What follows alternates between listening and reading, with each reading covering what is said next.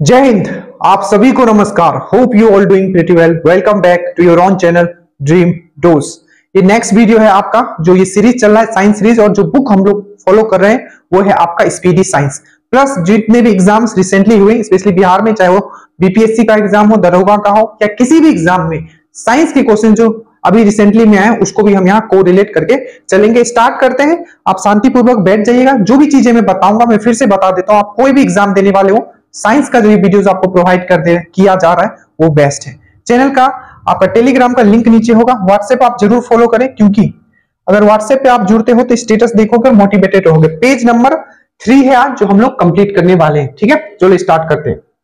ध्यानपूर्वक आप लोग देखोगे। और चीज़ों को हम कनेक्ट भी कर देंगे, ताकि आप अपने आप को और ज़्यादा इंपावर्ड फील करोगे, ठीक है? जब हम लोग साइंस का बात करेंगे। देखिए पहला यहाँ क्वेश्चन आपको दिख रहा होगा कि एवागाड्रो संख्या का जो वैल्यू होता है वो कितना होता है, ठीक है? तो याद रखिएगा जो एवागाड्रो जो संख्या है, उसका जो वैल्यू होता है, वो होता है आपका कितना? वो होता है आपका सिक्स पॉइंट ज़ीरो ठीक है? Two three into ten to power twenty three क्या है आपका? एवागाड्रो नंबर का वैल्यू है। अब सिक्सटी सिक्स बीपीएससी अगर आपने अभी देखा है, उसमें क्वेश्चन पूछा गया था। स्टेटमेंट दिया हुआ था और उसमें एवागाड्रो जो लो है, उसके बारे में आपको पूछा गया था। तो गैस लो याद रखिएगा, तीन गैस लो आपको हमेशा याद रखना है। पहला आपको याद रखना है बॉयल्स लो, जो हमेशा पूछा जाता है, उसके बाद आपका एवागाड्रो लो, और उसके बाद आपको याद रखना है चार्ल्स लो, ठीक है? सबसे पहले हम लोग बात करते हैं आपका बॉयल्स लो चार्ल्स लो। देखिए चार्ल्स लो क्या बोलता है? किसी भी दो गैस, आपको मेन आपको ये चीज़ याद रखना है जो मैं यहाँ इक्वेशन लिख के रखा हूँ, ठीक है? तो याद रखिएगा, आपका जो, सबसे पहले हम लोग बात करते हैं आपका एवागाड्रो लो क्या बोलता है? किसी भी दो गैस के लिए, ठीक है? दो गैस अगर कोई भी लेते हो, अगर उनका आयतन समान है, ठीक है तो उनके अंदर जो मॉलिक्यूल होंगे, उस गैस के अंदर जो मॉलिक्यूल होंगे, वो भी आपके इक्वल्स होंगे। मॉलिक्यूल्स मतलब अनु ठीक है? तो आयतन जो हो जाता है, यहाँ क्या हो जाता है? डायरेक्टली प्रोपोर्शनल तो क्या हो जाता है? आपका मॉलिक्यूल्स ऑफ़ गैस हो जाता है। मॉलिक्यूल्स मतलब अणु। तो ये स्टेटमेंट आपका 67 बीपीएससी में दिया हुआ था कि किस लॉ से ये पता चलता है कि जो आयतन जो है, ठीक है, वो डायरेक्टली प्रोपोर्शनल हो जाता है आपका गैस के अणुओं का।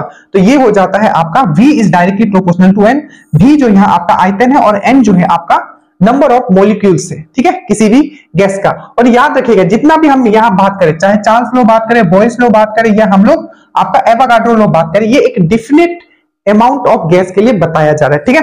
तो बस आपको क्या याद रखना है, इसमें एवागाड्रो में जो आयतन जो होता है डायरेक्टली प्रोपोर्शनल हो जाता है, किसका? Number of molecules of gas के। और यहाँ क्या कांस्टेंट होता है तो याद रखिएगा पी और टी जो होता है मतलब दाब और आपका जो ताप है, ठीक है? इस केस में आपका यहाँ कांस्टेंट होता है। किसमें? आपका एवागाड्रो में। इसके बाद आपको याद रखना है बॉयल्स लो बॉयल्स लो क्या बोलता है? कि जो आयतन जो होता है, उस गैस के लिए, डेफिनेट गैस के लिए इन्वर्सली प्रोपोर्शनल होता है आपका प्रेशर का। अगर प्रेशर बढ़ाओगे तो आपका आयतन बढ़ेगा। सॉरी, आप प्रेशर बढ़ाओगे तो आयतन आपका कम होगा। और अगर प्रेशर घटाओगे तो आयतन आपका ज़्यादा होगा, उस गैस के लिए जो आपको डेफिनेट गैस दिया गया इस गैस में क्या होता है? आपका टेम्परेचर कॉन्स्टेंट होता है, ठीक है? एक और आपको बस याद रखना वो है आपका चार्ल्स लो। चार्ल्स लो क्या बोलता है? आपका जो आयतन है, वो क्या होगा? डायरेक्टली प्रोपोर्शनल टू टेम्परेचर होगा, आपका ताप होगा। मतलब अगर आपका ताप बढ़ेगा तो आपका आयतन भी बढ़ेगा उस गैस का। अगर ताप घटेगा तो आपका आयतन भी घटेगा। तो सबसे पहले जल्दी से मेरे साथ आप रिवीजन करोगे। पहला हमने क्या बताया आपको? एवागाड्रो लो एवागाड्रो लो क्या बोलता है? आपका जो आयतन जो होता है, ठीक है डायरेक्टली प्रोपोर्शनल होता है। किसका? आपका नंबर ऑफ़ मॉलिक्यूल्स मॉलिक्यूल्स मतलब होता है अणु। उसके बाद हमने आपको बताया बॉयल्स लो बॉयल्स लो में क्या होता है? आपका आयतन जो होता है, वो इनवर्सली प्रोपोर्शनल होता है आपका प्रेशर का। अगर दाब बढ़ाओगे तो वॉल्यूम आपका कमेगा और अगर दाब घटाओगे तो वॉल्यूम आपका बढ़ेगा। ये चीज़ आप नॉर्मली भी सोचोगे तो आपको समझ में आएगा बट याद रखना ये किसने दिया था? तो ये वाला फंडा आपको मोइल्स ने दिया था। ठीक है? ये वाला फंडा आपको एवागाड्रो ने दिया था। और लास्ट जो मैंने बताया, आपको चार्ल्स में याद रखना है कि चार्ल्स ने क्या बताया टेम्परेचर बढ़ाओगे तो आपका आयतन भी बढ़ेगा गैस का। ठीक है? और टेम्परेचर घटाओगे तो आपका आयतन भी घटेगा। तो ये किसने दिया था? चार्ल्स ने। अब ये तीनों आप याद रखिएगा, ये बहुत इंपॉर्टेंट है, जो आपको बीपीएससी में पूछा गया था और बॉयल्स वाला जो है, बहुत सारे एग्ज़ाम्स में पूछा गया, ठीक है? उसके बाद हम लोग आते हैं नेक्स्ट क्वेश्चन है कि दाब बढ़ाने पर, ठीक है, ये ध्यान से देखना कि दाब बढ़ाने पर तरल का क्वथनांक क्वथनांक मतलब होता है आपका बॉइलिंग पॉइंट क्या होता है? अब यहाँ ध्यान से समझ लेना जैसे जैसे हम लोग प्रेशर बढ़ाएँगे, ठीक है? वैसे वैसे क्या होगा? आपका बॉइलिंग पॉइंट क्वथनांक बिंदु जो है वो बढ़ेगा। ये तो चीज़ आप समझ गए। दूसरा चीज़ आपको समझना है। पहला क्वेश्चन पूछा जाता है कि हम लोग जब हिली एरिया में जाते हैं माउंटेन वाला एरिया में जाते हैं तो वहाँ खाना बनाना मुश्किल होता है। खाना जल्दी पकता नहीं है। क्यों नहीं पकता है? क्योंकि वहाँ जो होता है आपका, जो वायुमंडल वायुमंडल दाब जो होता है, जितने जितने ऊपर जाओगे, वायुमंडल दाब क्या होगा? घटता जाएगा। और जैसे जैसे आपका वायुमंडल दाब घटता जाएगा तो दाब जैसे घटेगा, आपका प्रेशर जो है क्या हो जाएगा? वो आपका कम हो जाएगा। अब प्रेशर अगर कम हो गया तो आपका क्वथनांक बिंदु भी क्या हो जाएगा? आपका बॉइलिंग पॉइंट भी क्या हो जाएगा? आपका वो कम हो जाएगा। तो ये चीज़ आपको याद रखना है। इसीलिए आप अगर आपको पूछे कि ऊपर हिल एरिया में खाना बनाने क्यों मुश्किल हो जाता है, क्योंकि वहाँ आपका एटमोस्फेरिक प्रेशर कम हो जाता है। एटमोस्फेरिक प्रेशर अगर कम होगा तो आपका बॉइलिंग पॉइंट भी कम होगा। एटमोस्फेरिक अगर प्रेशर अगर ज़्यादा होगा तो आपका बॉइलिंग पॉइंट भी ज़्यादा होगा। याद रखिएगा। तो पहला क्वेश्चन तो आप ये समझ गए। दूसरा क्वेश्चन ये पूछा जाता है कि जब हम लोग एरोप्लेन में जाते हैं तो कभी कभी क्या होता है हमारा? नाक से खून बाहर आ जाता है, ठीक है? तो याद रखिएगा क्यों? क्योंकि जो हमारे बॉडी का जो प्रेशर होता है, ठीक है, उस समय, क्योंकि एरोप्लेन आपको पता है कौन से लेयर में उड़ता है आपको, ये चीज़ आपको पता होगा। जल्दी से कमेंट कीजिएगा कौन से लेयर में हमारा जो एरोप्लेन है वो उड़ता है, ये आप ज़रूर बताइएगा। मैं बता देता हूँ, वो है आपका स्टेटोस्फेयर ठीक है? क्योंकि जो मौसमी घटना होती है, वो होता है आपको ट्रोफोस्फेयर में, ठीक है? सबसे नीचे वाला लेयर में। तो इसके ऊपर वाले में कौन सा होगा? अगर आपको पूछे जितना भी मौसमी घटना है किसमें होगा? तो लास्ट सबसे नीचे वाला में। कौन सा आपका ट्रोफोस्फेयर में, ठीक है? आपका ओजोन किसमें है? ओजोन लेयर किसमें है? तो आपको याद रखना स्टेटोस्फेयर में। एरोप्लेन किसमें उठता है? स्टेटोस्फेयर में। तो जब हम लोग स्टेटोस्फेयर में होता है तो वहाँ प्रेशर कम होता है। अगर प्रेशर वहाँ कम है, हमारे बॉडी में ज़्यादा प्रेशर है तो क्या होगा? ज़्यादा प्रेशर, कम प्रेशर की तरफ़ बढ़ेगा और नाक से खून आएगा। ये याद रखेगा ये खाना बनाने वाला और प्रेशर वाला आप याद रखेगा अब नेक्स्ट क्वेश्चन जो आपको याद रखना है, ठीक है? जल्दी जल्दी मैं बोलूँगा ताकि ये कंप्लीट हो पाए। क्योंकि क्वेश्चंस आए हुए तो मुख से निकलेगा ही मेरा, ठीक है? क्योंकि इंपॉर्टेंट है वो सब। अब याद रखना, जो बॉइलिंग बॉइलिंग पॉइंट जो है, आपका क्वथनांक बिंदु है, कुछ भी अशुद्धि मिलाते हो 67 बीपीएससी का ये भी क्वेश्चन है, याद रखिएगा, जब इंप्योरिटी आप ऐड करते हो, कुछ भी अशुद्धि ऐड करते हो तो आपका क्या होगा, कि बॉइलिंग पॉइंट बढ़ेगा। याद रखना क्वथनांक बिंदु जो है, आपका क्या होगा क्वथनांक बिंदु बढ़ जाता है, ठीक है? और अगर आप कुछ भी, क्या होता है आप ध्यान देना कि कुछ भी अगर आप इंप्योरिटी अशुद्धि ऐड करते हो तो गलनांक बिंदु घट जाता है। एग्ज़ाम्पल जल्दी से, ठीक है? मान लीजिए आपने किसी भी वाटर है वाटर में आपने नमक मिलाया तो क्या होगा? आपने उसमें अशुद्धि मिक्स किया तो क्या होगा? उसका बॉइलिंग पॉइंट बढ़ जाएगा, ठीक है? बॉइलिंग पॉइंट बढ़ जाएगा। इसीलिए खाना बनाना, जब नमक डाल देते हैं तो स्वाद तो मिलता ही और खाना भी जल्दी पक जाता है। क्यों? क्योंकि जब हम लोग अशुद्धि मिलाते हैं, ये समझाने वाला है, बाकी उतना नहीं समझाऊँगा, ठीक है? तो क्या होगा आपका? जब भी अशुद्धि मिलाएँगे तो हमारा बॉइलिंग पॉइंट बढ़ जाएगा। हमारा क्या होगा? आपका बॉइलिंग पॉइंट बढ़ जाएगा क्वथनांक बिंदु बढ़ जाएगा। और हमारा जो गलनांक बिंदु है वो घट जाएगा। इसीलिए हम लोग क्या करते हैं? आइस जो होता है हमारा ठीक है उसमें नमक यूज़ करते हैं ताकि उसका गलनांक बिंदु घट जाए। याद रखना अशुद्धि मिलाएँगे तो क्या होगा? बॉइलिंग पॉइंट बढ़ेगा ठीक है? और गल, जो आपका मेल्टिंग पॉइंट है वो घटेगा। याद रखिएगा बहुत इंपॉर्टेंट क्वेश्चन है दोनों पूछा गया ठीक है? उसके बाद हम लोग आ जाते हैं कि मानव रक्त ऑक्सीजन का परिवहन करता है। मैंने कल ही बताया था आपको इसको आरबीसी के बारे में, ठीक है? तो याद रखिएगा आरबीसी जो है आपका, सबसे पहला याद रखोगे ऑक्सीजन का परिवहन मतलब बॉडी में पूरा सर्कुलेट करता है। दूसरा क्वेश्चन पूछा गया है हार्मोन का सर्कुलेशन कौन करता है पूरे बॉडी में? तो वो भी आपका आरबीसी करता है। आरबीसी में तीसरा क्वेश्चन याद रखना आरबीसी में क्या होता है? आपका न्यूक्लियस केंद्रक नहीं होता है। एक क्वेश्चन पूछा गया था कि कौन सा ऐसा जंतु है जिसमें आरबीसी नहीं होता है? तो आपको याद रखना है अर्थवन में आरबीसी नहीं होता है। और आरबीसी का अगर आपको कमी हो गया मतलब कि आपको हेमोग्लोबिन का कमी होगा, क्योंकि हेमोग्लोबिन जो होता है वो आपका आरबीसी के अंदर होता है। फिर आपको कौन सा बीमारी हो जाएगा? आपको एनेमिया हो जाएगा, ठीक है? याद रखिएगा।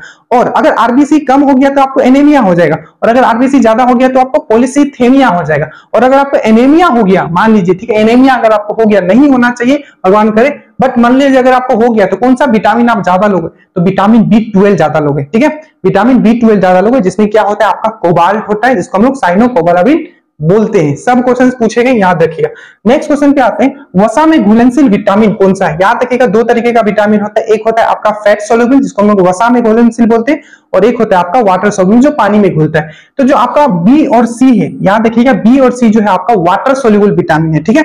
और जो आपका ए डी ई के जो है आपका क्या है? आपका ये, आपका फैट सोल्यूबल विटामिन है, आपको याद रखना है। ठीक है? क्या बोलोगे?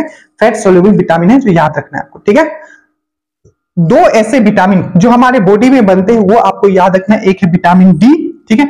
और एक है विटामिन के अगर मैं पूछूँ कि विटामिन ए कहाँ क्वेश्चन पूछा गया कि विटामिन ए कहाँ स्टोर होता है हमारे बॉडी में तो याद रखिएगा विटामिन ए लीवर में स्टोर होता है। एक क्वेश्चन पूछा गया है कि कौन सा ऐसा विटामिन है जो एज ए हार्मोन भी उसको माना जाता है? मतलब उसको हार्मोन विटामिन माना जाता है।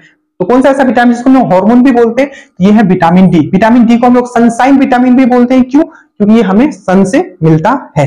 ठीक है? तो दो विटामिन जो बॉडी में बनता है, ऐसे विटामिन कोई भी हमारा बॉडी में नहीं बनता है हम लोग बाहर से विटामिन लेते हैं। ठीक है? तो याद रखिएगा विटामिन डी और के। एक क्वेश्चन पूछा गया कि जैसे कि हमारा फैट है, ठीक है? तो फैट से कितना हमारा एनर्जी मिलता है? एक ग्राम फैट से। तो 9.4 ठीक है? तो आप 9.4 कैलोरी तो विटामिन से कितना एनर्जी मिलता है? तो याद रखिएगा विटामिन से हमें कोई एनर्जी नहीं मिलता है। मेटाबॉलिज्म के लिए इंपॉर्टेंट होता है, ठीक है? ध्वनि की चाल, ठीक है? ध्वनि की चाल याद रखिएगा। सबसे पहला याद रखेगा ध्वनि का जो चाल होता है, वो होता है आपका एयर में 760 मिली पर घंटा। याद रखना, यहाँ आपको मील पर घंटा में दिया ये क्वेश्चन थोड़ा ट्विस्ट किया है तो यहाँ याद रखना मील में। ऐसे हम लोग को क्या याद है? एयर में कितना होता है? तो 332 मीटर पर सेकंड होता है। ये क्वेश्चन समझ गए? आप दूसरा क्वेश्चन याद रखना। क्वेश्चन में याद रखना डायरेक्टली कि जो आपका ध्वनि जो होता है, वो निर्वात में गमन नहीं कर सकता है, निर्वात में ट्रेवल नहीं कर सकता क्यों नहीं कर सकता है? क्योंकि ये जो होता है, एक आपका मैकेनिकल वेव मैकेनिकल वेव मतलब ये आपका यांत्रिक तरंग है। पहला क्वेश्चन दूसरा क्वेश्चन ये पूछा जाएगा कि सबसे ज़्यादा जो स्पीड इसका चाल जो होता है, किसमें सबसे ज़्यादा मैक्सिमम होता है? तो याद रखिएगा सॉलिड में जो होता है, सबसे ज़्यादा मैक्सिमम इसका ये होता है। ये चीज़ आपको याद रखना है। ठीक है? ये चीज़ याद रखोगे? तो ये याद रखना आपका ये। ये है आपका साउंड वेव ठीक है? और साउंड वेव किस तरीके का वेव है? एक तो मैंने बता दिया, यांत्रिक है और ये एक अनुधैर्य है। अनुधैर्य तरंग, ये भी पूछा गया है। अनुधैर्य मतलब आपका एक लॉन्गिट्यूडनल वेव होता है। ठीक है?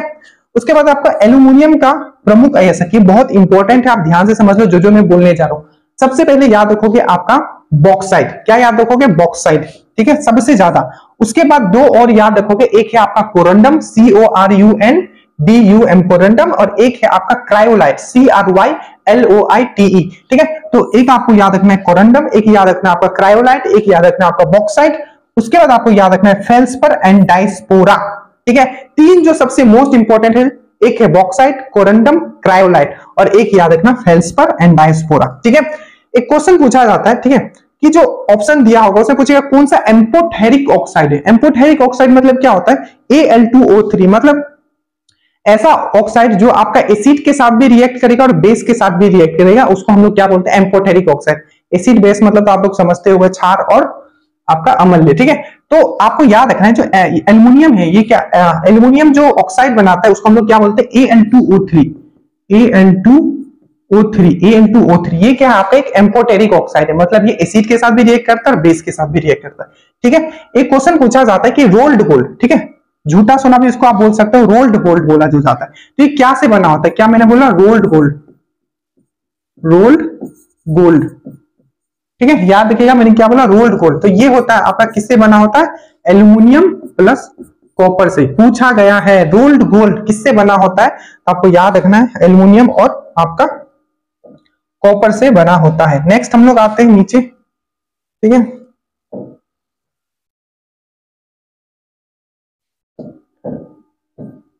देखिए नेक्स्ट कि आपका प्राकृतिक। और याद रखना, ये भी क्वेश्चन पूछा गया कि जो बॉक्साइड है, सबसे ज़्यादा कौन सा स्टेट प्रोड्यूस करता है? तो याद रखना ओडिशा जो है, सबसे ज़्यादा बॉक्साइड प्रोड्यूस करता है। प्राकृतिक मोम और लाख प्राप्त किए जाते हैं तो याद रखना डायरेक्टली इसका कुछ ये नहीं डायरेक्टली आप याद कर करोगे कि कीड़े के श्रव्य के रूप में, ठीक है? जो कीड़ा जो एक्सक्रीट करता है, उस रूप में हम लोग प्राकृतिक रूप से मोम और लाख कहाँ से मिलता है? तो आपको याद रखना, कीड़ों के स्रव के रूप में ये मिलता है। अब याद रखना क्वेश्चन पूछा गया था कि लाख रिसर्च अनुसंधान मतलब लाख रिसर्च सेंटर जो है आपका कहाँ है? तो आपको याद रखना है, ये है आपका रांची में, ये बहुत इंपॉर्टेंट क्वेश्चन है। और जितने भी कीड़े हैं, ठीक है, कीड़ा, वो कौन से फाइलम में आते हैं? अगर कोई पूछू तो आपको याद रखना है, वो एंथ्रोपोडा फाइलम में आते हैं, ये भी पूछा गया है। कार की बैटरी में इस्तेमाल किया जाता है, आपको याद रखना है, कार की जो बैटरी हो तो उसमें कौन सा होता है आपका? सल्फरिक एसिड होता है। अब इसमें क्या क्या क्वेश्चन पूछा गया? सबसे पहला क्वेश्चन पूछा जाता है कि एसिड जो अमल है, उसका राजा किसको बोला जाता है? तो याद रखेगा सल्फरिक एसिड। पहला क्वेश्चन किंग ऑफ़ एसिड आपको याद रखना है, सल्फरिक एसिड, ठीक है? दूसरा क्वेश्चन पूछा जाता है कि जो आपका, क्या पूछा जाता है? जो कार का बैटरी होता है, ठीक है, उसमें कौन सा एसिड होता है? तो आपको याद रखना है, वो होता है आपका सल्फरिक एसिड। तीसरा क्वेश्चन आपको याद रखना है, वो है आपका ऑयल ऑफ़ विट्रोल क्या बोला जाता है इसको? ऑयल ऑफ़ विट्रोल ठीक है, ये भी क्वेश्चन पूछा गया कि ऑयल ऑफ़ विट्रोल और एक चीज़ इंग्लिश में लिखता हूँ तो उसको इंग्लिश में ही लिखना है और ऐसे ही पूछा जाएगा, ठीक है? तो ऑयल ऑफ़ विट्रोल किसको बोला जाता है? तो आपको सल्फरिक एसिड को। फॉर्मूला क्या होता है? याद रखिएगा, इसका जो फॉर्मूला होता है, ये मैं लिख देता हूँ आपको यहाँ। आपको शायद ही दिख रहा होगा यहाँ। H two S O four ठीक है? इसको थोड़ा साइड करना चाहिए क्या? चलिए। क्या होता है आपका? सल्फरिक एसिड का फॉर्मूला H2SO4 होता है, जिसको हम लोग किंग ऑफ़ एसिड बोलते हैं। एसिडो का राजा जिसे हम बोलते हैं, ठीक है? चलिए नेक्स्ट क्वेश्चन पे आप लोग आइए। नेक्स्ट क्वेश्चन है, हमारे शरीर में आधार उपाचाय उपाचाय या ऑक्सीडेशन आप इसको बोल सकते हो। उपाचाय रिडक्शन होता है बट बेसिकली ये बोला जाता है कि मेटाबॉलिज्म के लिए बोला जाता है। तो उपाचाय को नियंत्रित करने वाला हार्मोन कौन सा है? तो आपको याद रखना है थायराइड देखो थायराइड और जो पैराथायराइड पूछा जाता है कहाँ होता है तो आपको यहाँ, ये आगे से देखोगे तो थायराइड इसको कौन सा, इसको एक और नाम से जाना जाता है, बटरफ्लाई बटरफ्लाई ग्रंथि। तो बटरफ्लाई ग्रंथि किसको बोला जाता है? क्योंकि ये जो होता है, आपका तितली का सेप का होता है इसको बटरफ्लाई ग्रंथि भी बोला जाता है। याद रखना तो ये होता है आपका अवंटू ग्रंथि, ठीक है? क्या करता है आपका, इसके लिए, उपाचय के लिए नियंत्रित करने के लिए हमारे बॉडी में होता है। अगर थायराइड ग्लैंड अगर सही रूप से चलाना है तो आपको क्या खाना पड़ेगा? आयोडीन सही मात्रा में लेना पड़ेगा। अगर आयोडीन नहीं लोगे तो यही थायराइड ग्लैंड बड़ा हो जाता है जिसका नाम होता है, अब एक बीमारी हो जाता है जिसको हम लोग बोलते हैं गोइटर ठीक है? तो उतना चीज़ आपको यहाँ से याद रखना है। बिजली के बल्ब का फिलामेंट किससे बना होता है? तो आप सबको पता है, ये है आपका टंगस्टन से। नेक्स्ट क्वेश्चन टंगस्टन से पूछा गया था कि इसका सिंबल क्या होता है। ठीक है? अगर आपको पता है, बहुत अच्छी बात है तो याद रखिएगा टंगस्टन को हम लोग डब्ल्यू से डिनोट करते हैं, ठीक है? और इसका एटॉमिक नंबर कितना होता है तो सेवेंटी फोर होता है। अब याद रखिएगा, ये जो बिजली का जो बल्ब है, जिसमें टंगस्टन यूज़ होता था, आजकल तो यूज़ ही नहीं होता है, ठीक है? तो बल्ब का डिस्कवर किसने किया था तो थॉमस एल्वा एडिसन ने किया था, ये चीज़ आपको याद रखना है। अब यहाँ बिजली का बात चला है तो बिजली का डिस्कवर किसने किया था? देखो, जो भी मैं यहाँ बोलूँगा वो एग्ज़ाम्स में आए हुए ठीक है? तो थोड़ा शांतिपूर्वक सुनना है। जब भी वीडियो देखना इधर उधर नहीं करना है। ठीक है? कि थोड़ा देख लिया, फिर उधर कुछ सुन रहे हो। ध्यान पूर्वक क्योंकि कुछ भी मिस हुआ तो फिर गलत हो जाएगा। ठीक है? तो आपको याद रखना है बिजली। बिजली का डिस्कवर किसने किया था? तो आपको याद रखना है बेंजामिन फ्रैंकलिन ने किया था। ठीक है?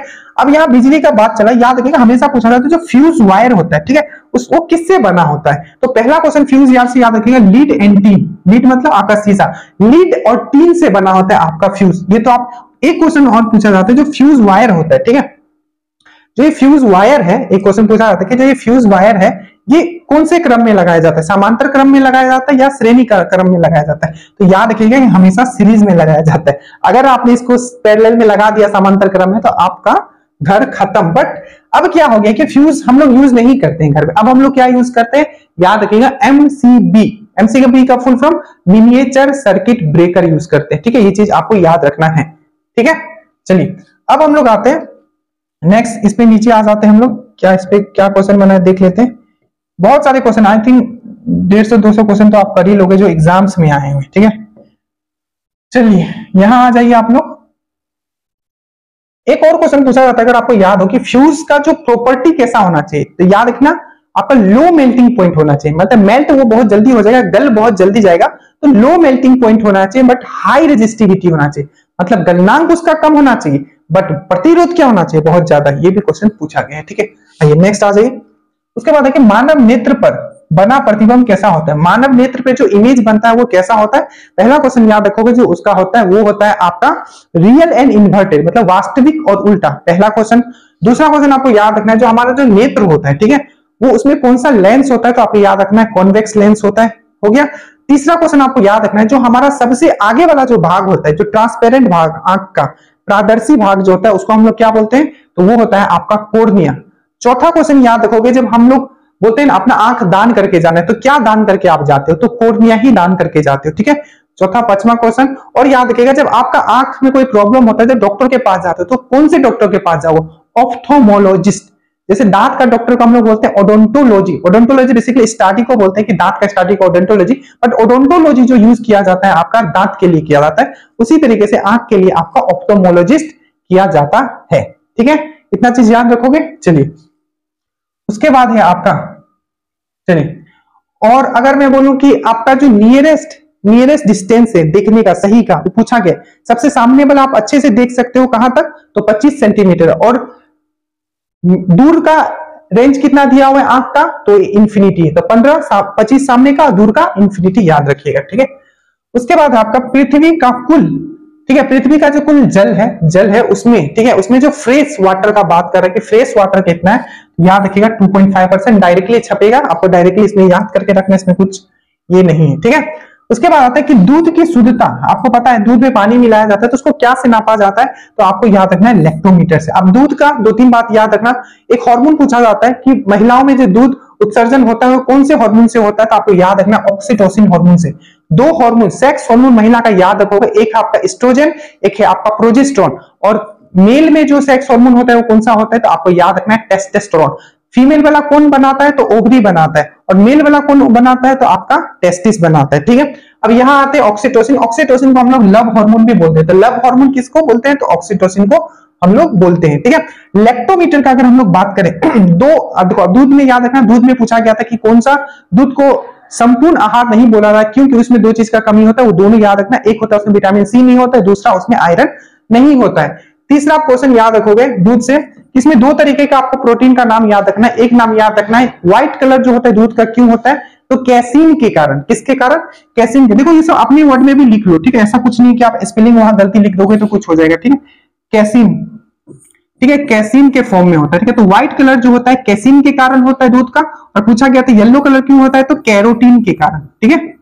कैरोटीन के कारण ये चीज़ आप याद रखेगा ध्वनि के शोरगुल, ठीक है? का मापन होता है। आप जो ध्वनि का जो शोरगुल होता है, उसको क्या में नापते हैं? तो याद रखेगा डेसिबल में नापते हैं, ठीक है? क्या में नापते हैं? डेसिबल में। और अगर 70 डीबी से कोई, अगर साउंड कोई भी अगर साउंड अगर 70 डीबी से अगर वो ज़्यादा हो जाता है तो वो शोरगुल में कंसीडर होता है, ये चीज़ आपको याद रखना है, ठीक है? चलिए।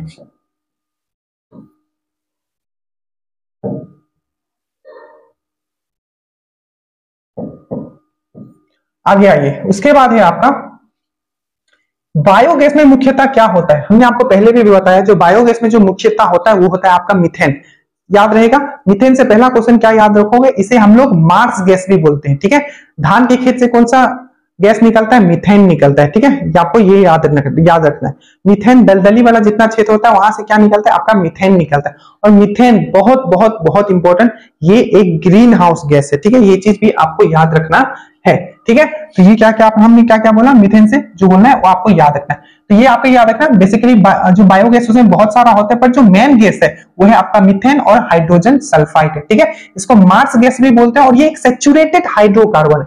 सेचुरेटेड हाइड्रोकार्बन जो समझते हो, देखो, आपने पढ़ा होगा एल्केन एल्कीन एल्काइन तो एल्केन एल्केन क्या आपका सेचुरेटेड हाइड्रोकार्बन सेचुरेटेड हाइड्रोकार्बन मतलब बोलूँगा जिसमें सिंगल बॉन्ड होगा जैसे कि देखो, ये सी में लिखता हूँ। तो H4 जब मैं लिखूँगा, इसका फॉर्मूला आता है CH4 ये क्या है? सब में सिंगल बॉन्ड है, ठीक है?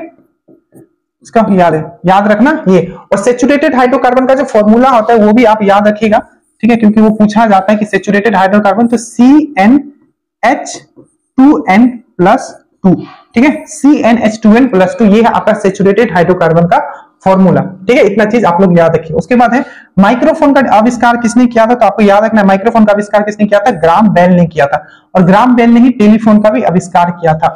मोबाइल का आविष्कार किसने किया था? मार्टिन कूपर ने किया था। ठीक है इलेक्ट्रिसिटी का बेंजामिन फ्रैंकलिन ने किया था। चलिए, इस पे एक अलग क्लास हो सकता है। मधुमेह रोग होता है। क्यों होता है मधुमेह रोग? तो आपको याद रखना मधुमेह रोग जो होता है, आपका इंसुलिन के अभाव के कारण होता है। यही याद रखो कि इंसुलिन कौन बनाता है? तो आपका पेनक्रियास का जो बीटा सेल है, वो बनाता है। नेक्स्ट क्वेश्चन आपको याद रखना है कि जो इंसुलिन है, उसमें कौन सा मेटल होता है? तो आपको याद रखना है, उसमें कौन सा मेटल होता है? तो आपको याद रखना है जिंक होता है। वही अगर मैं बोलूँ कि क्लोरोफिल में कौन सा मेटल होता है तो मैग्नीशियम याद रखना इंसुलिन में जिंक। मैग्नीशियम में?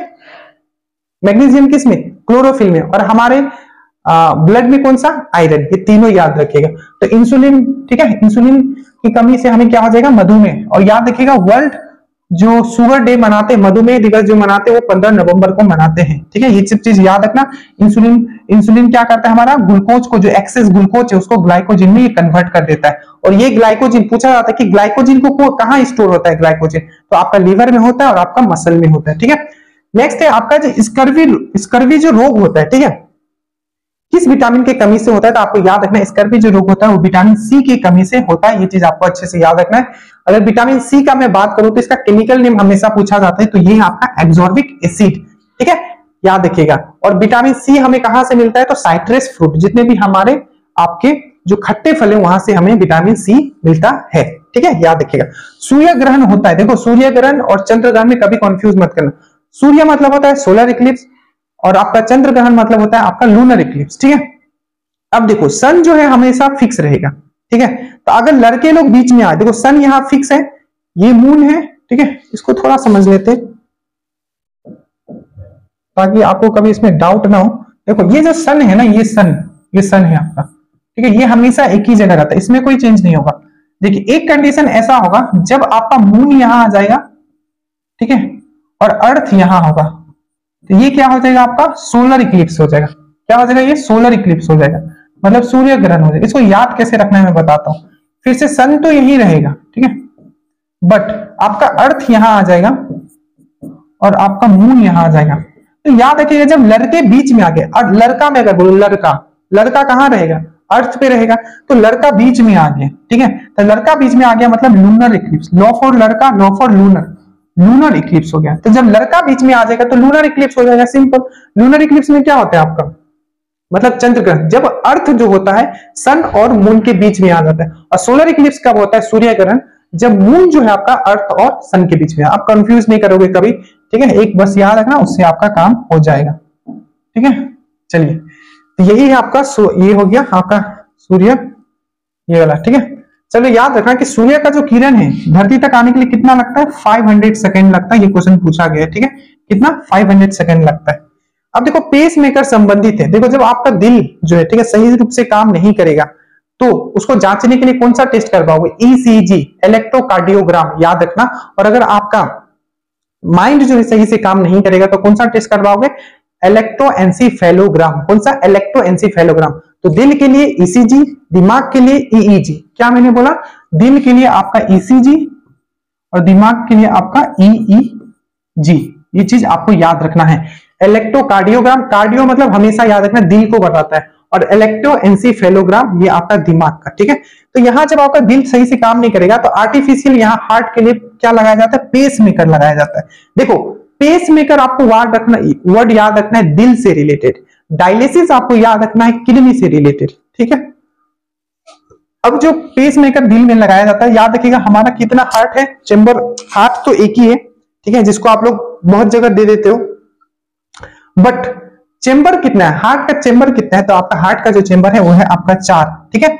ये याद रखिएगा। और हमेशा याद रखना, आर्टरीज जो होते हैं, धमनी, वो हमेशा शुद्ध ब्लड, पूरे ब्लड में सर्कुलेट करती है। और भेन मतलब सीरा, जो क्या अशुद्ध ब्लड आपका सर्कुलेट करती है। बट यहाँ एक्सेप्शन से क्वेश्चन पूछा जाता है। एक वर्ड आता है पुलमनरी आर्टरी पुलमनरी आर्टरी मतलब होता है आपका फुसफुस धमनी। वो क्या करती है? वो अशुद्ध ब्लड पूरे बॉडी में सर्कुलेट करती है। और एक आता है फुसफुस सीरा। वो क्या होता है? आपका शुद्ध ब्लड तो ये डिफरेंस समझना। जनरली जो धमनी है, वो हमेशा क्या करती है? शुद्ध ब्लड अपने पास रखती है। और सीरा अशुद्ध ब्लड बट यही अगर फुसफुस धमनी आ जाए तो जस्ट इसका उल्टा हो जाएगा। फुसफुस जहाँ लग जाए मतलब पुलमनरी आर्टरी अगर मैं बोलूँ तो अशुद्ध ब्लड और पुलमनरी वेंस बोलूँ तो शुद्ध ब्लड इसका कल मैंने बताया था, आपको पूरा फंडा कि कैसे कैसे ये घूमता है। पेस मेकर मैंने आपको बता दिया ईसीजी बता बाईपास सर्जरी अगर मैं वर्ड यूज़ करूँ बाईपास सर्जरी तो इसका मतलब क्या? आपका हार्ट यहाँ से आपका ये जो है, ये जो रिव आप देख रहे हो, इसको काटा जाता है। सही बता रहा हूँ, ठीक है? इसको काट के अलग अलग किया जाता है, फिर से। इस पर कभी और बात करेंगे बट सिंपल याद रखना बाईपास सर्जरी मतलब होता है आपका हृदय होता है मतलब हार्ट से रिलेटेड है, ठीक है? चलो। काफ़ी टाइम लग जा रहा है बट जो इंपॉर्टेंट है, उतना तो डिस्कस करना ही पड़ेगा। अब रट के तो नहीं जा सकते हम लोग, ठीक है? चलो। एक पार्ट हमने कर लिया ठीक है? ये अब अगला दिन से क्या करेंगे? दो पार्ट ट्राई करेंगे कि हम लोग करने के लिए, ठीक है? बाकी आप लोग बताइएगा कि आपको कैसा लग रहा है, ठीक है? एक पार्ट इसको हम लोग और कर सकते हैं, ठीक है? चलिए, कुछ। क्योंकि thirty to thirty five minute मुझे, क्योंकि एनर्जी निकल जाता है, सही बताऊँ तो मतलब ठीक है? बहुत सारे क्लासेस होते हैं।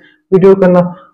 अब याद रखिए, जो ब्लीचिंग पाउडर होता है तो ब्लीचिंग पाउडर ब्लीचिंग पाउडर का फॉर्मूला हमेशा याद रखना। कैल्शियम ऑक्सीक्लोराइड भी बोलते हैं इसको और कैल्सियम हाइपोक्लोराइड भी बोलते हैं। तो आपको याद रखना ब्लीचिंग पाउडर का फॉर्मूला जो होता है calcium oxychloride C A O C L एक बाहर भी सी A O C L two भी आप कर सकते हैं इसको, ठीक है? तो इस तरह याद रखें उसके बाद हीरा और ग्रेफाइट एक जैसे नहीं दिखते हैं, ठीक है? क्यों नहीं दिखते? आप यहाँ से बहुत सारे क्वेश्चन सबसे पहले याद रखना। क्या याद रखोगे? जो ये जो आपका जो हीरा है, ठीक है? और आपका जो ये आपका ग्रेफाइट है, ठीक है? ये दोनों किसके समरूप है? मतलब आपके किसके एलोट्रॉफ है? तो आपको याद रखना है, ये जो है आपके किसके समस्थानिक एलोट्रॉफ है, आप बोल सकते हो उसको। किसके समस्थानिक है? किसके एलोट्रॉप से तो आपको याद रखना ग्रेफाइट बोले, ठीक है? याद रखना कि कार्बन के क्या क्या एलोट्रॉप्स होते हैं।